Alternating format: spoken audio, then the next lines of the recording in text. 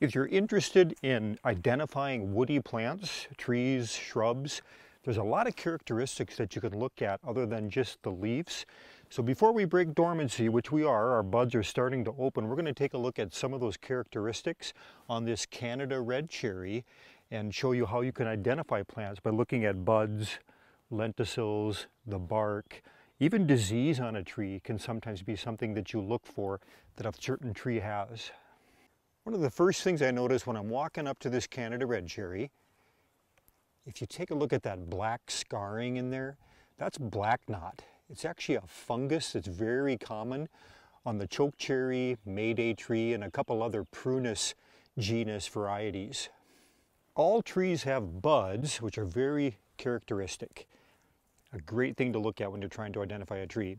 These buds are just starting to open, but they've got a laminated bud. And once these start partially opening, it becomes much more difficult to identify the tree with a bud that's partially open. When they're fully dormant, that's the time when you can really nail it down with this laminated bud. Next thing we look at, the lenticels.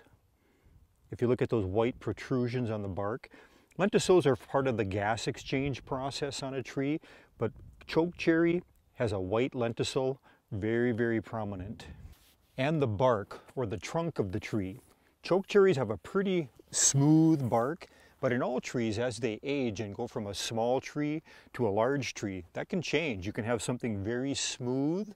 As it ages, it starts to get that ripped or furrowed outer bark. So it can change as a tree ages. So it's kind of like a detective. You're adding up all kinds of different visuals throughout the whole tree to come up with your identification. We'll move on to prairie horizon alder. Look at that beautiful shape. It's got a really nice form. Older alders can get a little bit more of a wide, gnarly type shape, but let's zoom in a little bit closer and take a look at some of the identifying characteristics. Alders also have a very, very prominent lenticel on their twigs. The difference here between chokecherry and the alder on the younger growth, we've got this distinct olive or copper growth. Just a perfectly round, almost elliptical, shiny little bud. Looking at the trunk, we've got a horizontal lenticel and that copper color that we took a look at in the twigs continues on down through the trunk. Alders have a little cone-like seed or strobile. That's a dead giveaway that it's an alder, very, very unique to the alders. The other thing to pay attention to is what's going on on the ground. What did the tree leave behind? Here we've got a catkin. This is another little signal for the alder. The alder is a member of the Betulaceae family, the birch family. So this is just a symptom from the spring flower, a catkin. Right behind us here, we've got an Ohio buckeye, oftentimes referred to now as just buckeye. It's Aesculus glabra, but a very nice smaller version tree. Like the other trees we talked about, the buckeye has a very, very characteristic bud. It's large compared to the overall twig structure, pointed, you know, almost sharp to the touch. You've got a little bit of a lamination happening.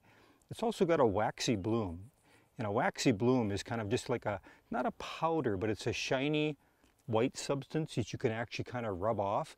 And that goes into the bud and the twig itself. And evidence on the ground We've got some buckeye seeds here. When they fall off the tree, they got a really, really big husk on them, kind of spiny.